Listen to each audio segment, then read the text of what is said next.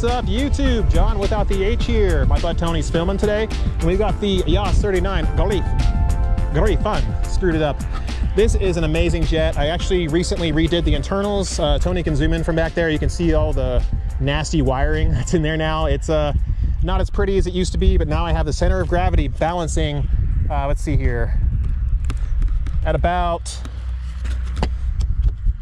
at about right here, which is way better than it was before. So the jet is now closer to being neutral. It's a much more awesome jet to fly now. So let's get that battery in there. Uh, we also have the 5280 RC afterburner system in from Larry as well. Uh, so we're gonna connect that as well. I said as well three times. And somebody actually mowed the other side of this runway, so we're not gonna have the repeat of the same problem we had yesterday with the Viper jet, which has been repaired and we're gonna be featuring it again soon. Little bit of wind gusts out here though, but this jet should be able to handle it the way I programmed it. Uh, one of the major consequences of getting the CG back meant that I could actually change the uh, the canards so that they're a lot more powerful in the uh, stabilization system. So we're gonna have, hopefully have some fun here. Tony's gonna walk down. We're gonna get this jet set up and ready to go. There we go. Get her tracked and lined up. We're gonna use the takeoff mode with the canards only, which I'm demonstrating right now. I don't know if you can see it. So the canards pretty much uh, are the only thing that moves. This stabilator, sorry, uh, elevons in the back do not move. All right, here we go. Going up.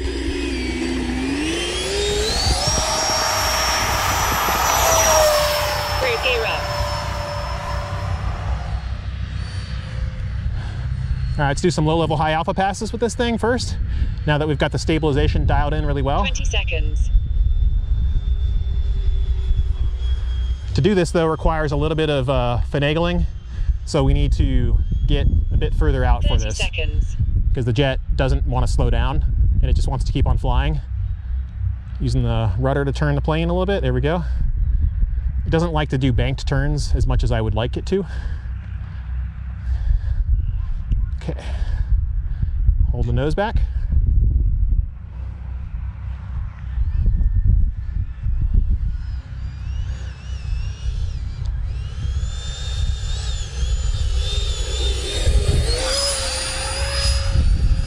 Little turbulent out here. Let's see how agile this jet is. Hopefully Tony can track this because it's gonna be going vertical. One minute. How much better it is now? How it slides directly into like, it just hovers like a kite. It has no issues with agility. Like it pretty much does whatever you tell it to now. Within reason, of course. It still is a Delta Wing jet.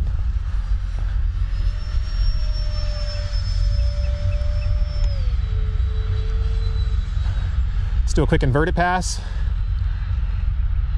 with the wind. Good thing we got a little bit of smoke and clouds out here today so you guys can see what this thing's doing.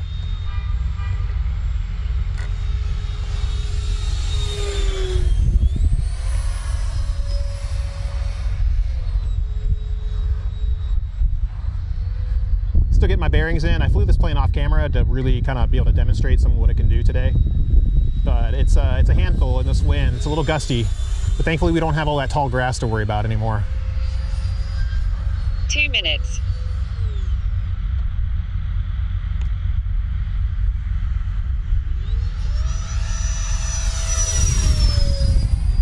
Twenty-one point oh two volts. All right, we got to get ready to land already. These 4K packs don't last very long. Tony's a smart guy. He can see the plane coming in when that landing light comes in, so he knows what to do.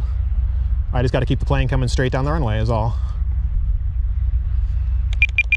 Canard six. There we go. Got to point the canards down a little bit with that 4K pack. Forgot to trim it out. Got a nice sink rate. Look at this thing come in. It's so nice. Even in this, Twenty-two point five. even a little bit of this turbulence, it's not bad. There we go. Had to get away from the grass. Air brake mode. Air brakes out. And we're Gucci. Good stuff, guys. Cruise mode. We're going to switch into the next segment. Twenty-five point oh eight. All right, guys, we're back with the Yas 39 Griffon. Having a hard time talking. It's hot out here. So we're gonna do some more alpha stuff with this jet now that the canards are trimmed right. I was just so excited to fly it again and forgot that I'd flown it on a 6K pack last time that I didn't bother to trim it, but it flies fine. It's just better with the nose down trim on the canards as you can see there. Let's go. Cruise gear up. I'm gonna save some of more power. And we're gonna turn the heading mode on, the canards, so that the uh, they'll actually try to stabilize it in high alpha and you guys will see it work. It's really cool to watch. Okay, we're gonna get far out, and then as we get slower, we're gonna enable it because it might make the plane start pitching wildly because it's only designed for slow speed. I didn't design it for any other mode. Hold the stick back. I'll have to do some low-level inverted high alpha too if I can get her to do it. 24.38 volts. Come on, baby, slow down. Heading.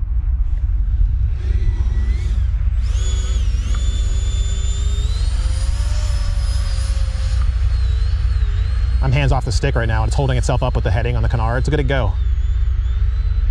AS3X. I'm gonna go around again. I didn't do the pass low enough where it would be actually impressive to watch. Four minutes. So get that 23.02 volts. get that battery call out going so I know how much power I have to work with. It is unfortunate these 4K packs don't last very long, but they do provide the best performance on this plane in terms of agility because they put the center of gravity right where it needs to be. And in my experiences, I'm about 40 millimeters back right now from the CG marks on the wings. I don't recommend doing that if you're still new to the jet. Definitely work your way back because it, it gets much more touchy. Heading. 23.65 Okay, we're in heading mode.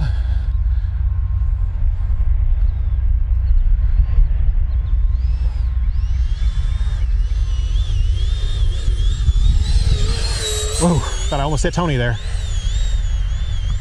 Hands off the stick now. AS3X. Looks like he got bit by something. Some kind of insect messing with him. We put those insect repelling bands on, but I think he didn't have it on his hands, so it may not have had any effect. 22.88 volts. All right, let's go for one more alpha pass. With the canard mode, it's so cool to watch them work and stabilize the jet. Five minutes.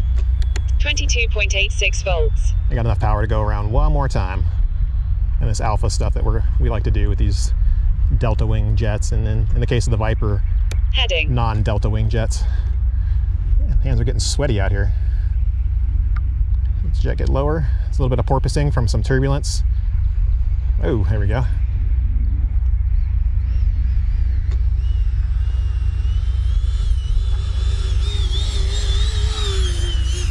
Twenty-two point nine three volts. AS3X. All right, let's turn around and get ready to land.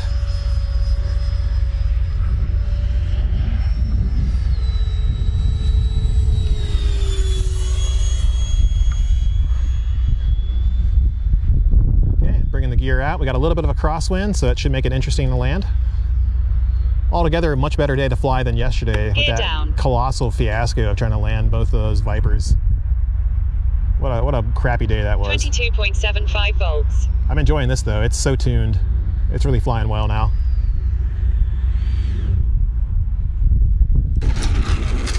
Air brake mode.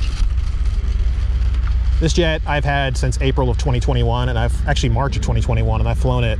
uh, It's got to be my most flown jet out of all Cruise the jets that I own. It's just so unique and special. And now I'm glad I've, I've put the time into making it fly as good as it probably should fly, or should have flown. You will get over here. No, it won't. I gotta go get it. Thanks for watching, guys. More to come shortly. All right, guys, we're just gonna get straight to the point. Same thing as uh, last time. Same 4K pack. Smart 50C. Let's uh, Takeoff mode. T- turbine let's figure out there. Wasn't sure why it wasn't engaging. There we go.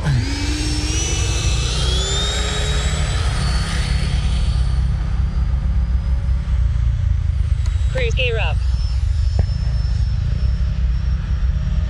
Way more agile now. Look, look at it go.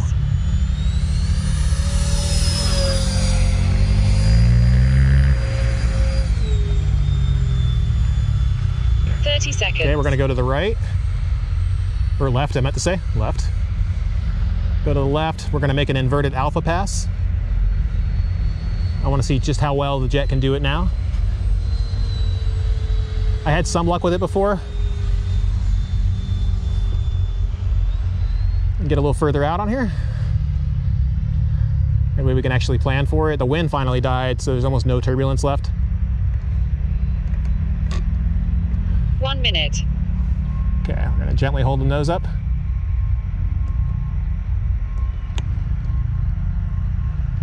Push the wrong direction on the rudder.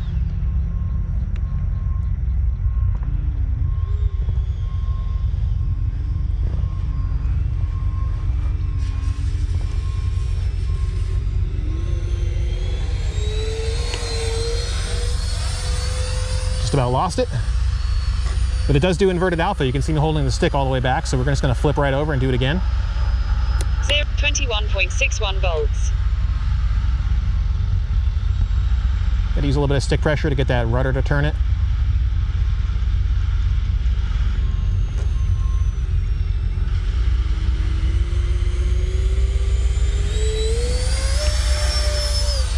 Whoa, the way that nose uh, flipped up there. Again, that's one of those uh, things I was talking about where uh, you have issues with center of gravity. That's what you got to be concerned with is if you're not used to it being more agile, you can easily over control and crash it. 22.2 minutes. Heading. So we can get it for a nice low level alpha pass. AS3X. 21.97 volts. Before we can do that, we actually have to turn the jet and get a little further out. We're gonna get one chance at this, and then we gotta turn around and land. But yeah, I mean, this jet is so much more agile and fun with this new CG setup. So if you guys have been confident with the plane, I'd recommend, Heading. definitely recommend checking it out. There's these guys in their dirt bikes who go away AS3X. little too fast for it. There we go. Heading. Slow it down. 22.72 volts.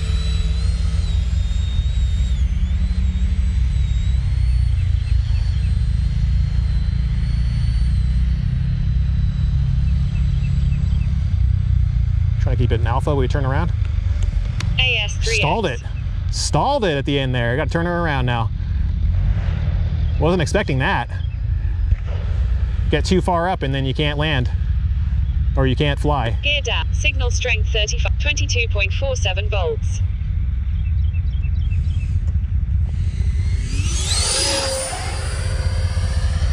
Twenty-one point four five volts. All right. Got to make this one count. Three minutes. Turn her around. Yeah, the key with landing uh, Delta jets like this, what they don't have flaps, is just to hold the nose up on approach and modulate your throttle. And then the plane will start sinking on its own accord. It's pretty cool.